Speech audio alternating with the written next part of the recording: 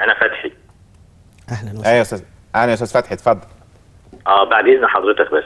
آه طبعا آه الشيخ في الأول قال نقول حقائق حتى لو كانت مرة. الاتباع القرآن ثم السنة. والقرآن بيقول إيه؟ بيقول وإن خفتم ألا تقسطوا في اليتامى فانكحوا. الفاء هنا فاء التعقيب والعطف.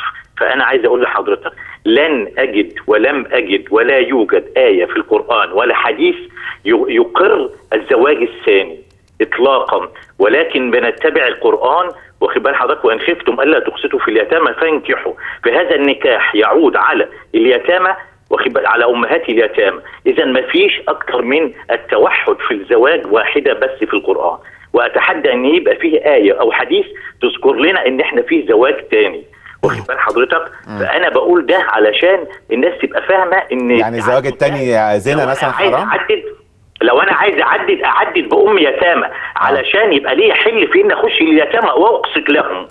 فال- فالتوحد في الزواج هو أساس أساس الإسلام وليس التعدد.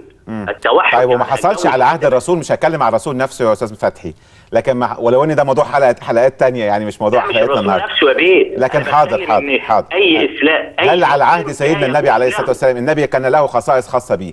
هل ما على عهد على عهد ليه؟ الرسول ما كانش فيه تعدد ما كانش فيه إن الصحابة يعني بعد مفيش- الصحابة. أنا ب... أنا بتبع قرآن وسنه لا يوجد آية ولا يوجد حديث بس ما هو مين اللي وصل لك القرآن والسنة مش النبي عليه الصلاة والسلام؟ ما قالش ما قالش في حديث أيوه لكن ما هو من. ضمن السنة المقررة إنه ممكن يقر ما يحصل أمامه ويصمت عنه. هل هو أنكر على سيدنا عمر أو على سيدنا كذا أو سيدنا كذا؟ أم- يعني صحابه كتير. يجوز في الأثر إنه أنكر على علي أن يتزوج على فاطمة. يجوز تمام أنا عايز عشان ذلك. آه. آه. تمام. أنا بقول التوحد في الجواز هو فعلا أنكر على سيد بس على أساس إن دي بنته يعني. لا تجتمع آه على بنت. وعدو لكن هل أنكر على فكرة الزواج الثاني ولا لا؟ أنت فاهمني؟ ما أنا بقول لحضرتك أهو كلمة آه. الانك نفس واحد. الر- الرسول قال إيه؟ خذوا مني ما القول والفعل. نعم. القول والفعل. نعم. ما لو عايز يخلينا نتجوز كان قال حديث صريح واضح. هو ما مش عايزنا نتجوز ما هو ما مش. بي... ما هو ده اللي بيقوله إنه مش حق. هو مش بيقول لك أمر لازم تتجوز زي ما بعض الناس بتقول ابدا. ما بيقول لك حل في بعض. كل المشايخ معظم المشايخ يعني عشان ما أظلمش حد اللي بيتجوزوا بيتجوزوا بكر إنما لو أنت عايز تعدد عدد امهات اليتامى عشان ت... يبقى ليك حل إنك تخش عليهم. على الحالات رأيك فوق راسي. جميل رأيك. أنا بحي وهيرد عليك وأوعدك أعمل حلقه عن الموضوع. أنا بحييك يا أستاذ فتحي على هذا الرأي الرائع. الذي يفتح لنا زاوية لأن إحنا مالناش. مصلحة مع لا ابدا إحنا مش, في مش برضه من الشيوخ. اياهم اللي لا لا خالص, آه، لا خالص. لا. هذا رأي محترم وهو يرى أن التعدد في أمهات اليتامى وأنا أقول له من هذا المنبر المحترم يا أستاذ فتحي هذا اجتهاد في تفسير الآية. والسنة أنواع قولية وتقريرية. ولقد أقر قولية وفعلية وتقريرية، ما ده اللي كنت ولقد. أقر النبي آه، صلى الله عليه وسلم كثير من الصحابة على التعدد بدون أمهات اليتامى. شوف وأقول له حاجة تانية.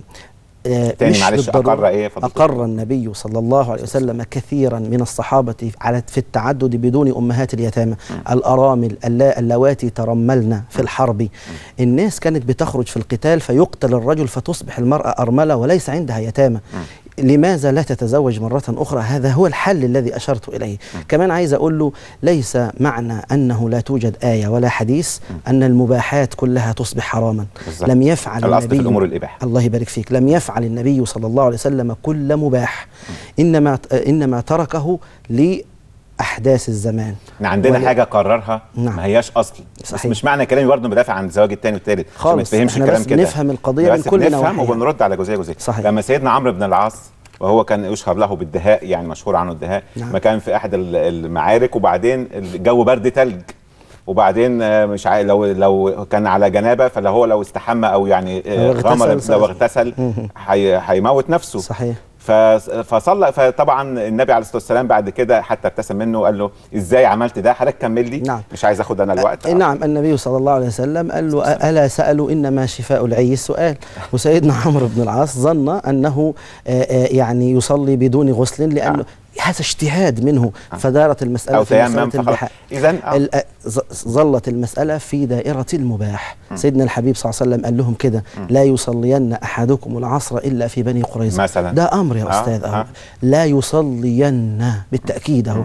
فصلى بعضهم في الطريق وصلى بعضهم في بني قريظة. فأقر النبي من فعل هذا ومن فعل هذا. ليه؟